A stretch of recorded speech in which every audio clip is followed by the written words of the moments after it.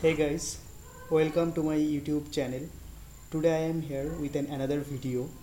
At my previous video, I already said that we can georeference a map with two different method.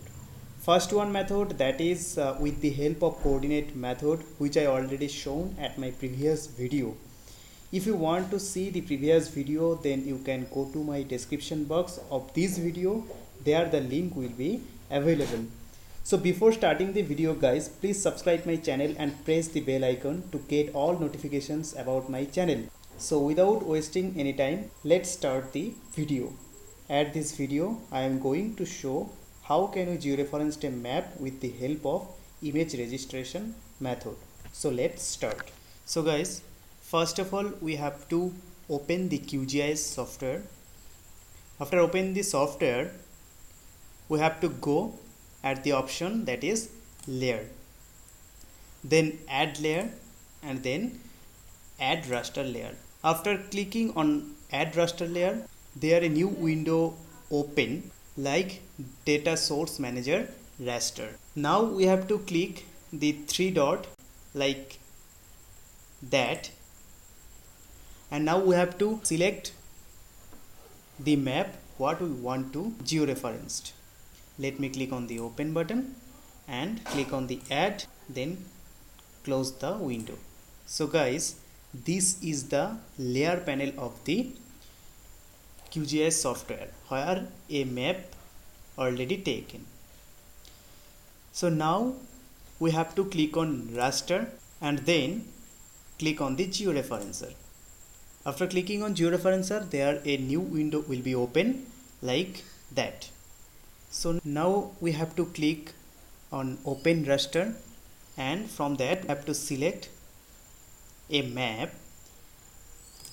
Then click on the open. So guys there are a map already taken. Okay. One more thing guys we have to select same map at the layer panel and at the georeferencer window. Okay so now let me select a GCP point. Let me click on that particular point. And there a new window uh, open like enter map coordinates. So guys at that method. That means in image registration method there we don't have to input the value of lat and long. There we have to click on the from map canvas after clicking on map canvas we are already on layer panel.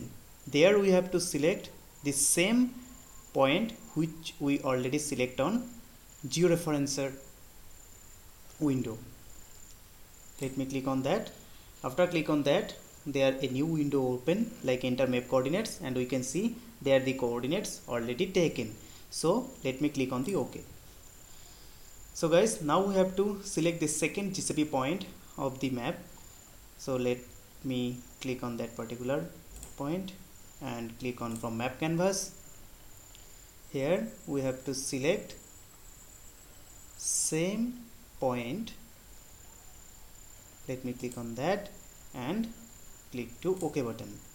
So guys now we have to select the third GCP point. Let me click on that and from map canvas and here we have to select the same area or point. Let me click on the ok button. So guys now we have to take the fourth GCP point of that map. Okay let me click on that. And uh, from map canvas so now we have to click the same point like that. And let me click on the ok button.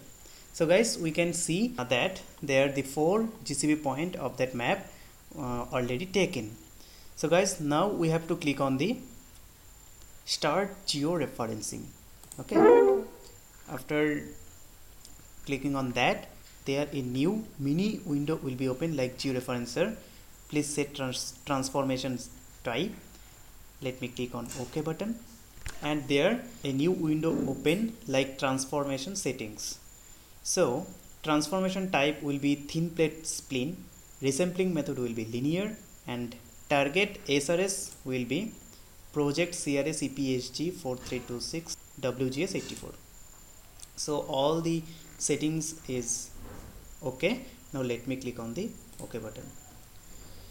So guys now we have to click on the start georeferencing once again. Progress indication. So guys we can see georeference successful raster was successfully georeferenced. So this is the method of image registration by which we can georeference a map. So thank you guys for watching the video